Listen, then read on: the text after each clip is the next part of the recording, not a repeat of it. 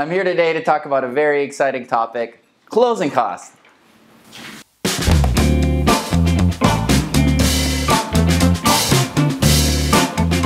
You got a budget for closing costs in Greater Vancouver and they are pretty substantial. Property transfer tax. It's 1% on the first 200,000 and 2% on the balance up to 2 million. Now if you go over 2 million, it becomes 3% on the remaining balance. If you're a first-time homebuyer, you might be exempt from paying property transfer tax up to a purchase of $525,000.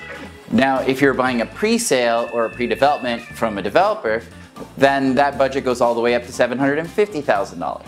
Speaking of brand new, you might be subject to a 5% GST. Now there are some rebates that you can get back depending on how you qualify, and that's something we can tackle together. The next thing you have to budget for is legal fees. I generally suggest budgeting about a thousand bucks. Now it depends on how complicated your situation is, but a $1,000 is a good number to start with. And that's about it. Now if you're a seller, stay tuned to next week where we have a whole different set of closing costs that you're going to want to know about. Make sure you like this video and follow us on social media and stay tuned for all the future content that's coming your way.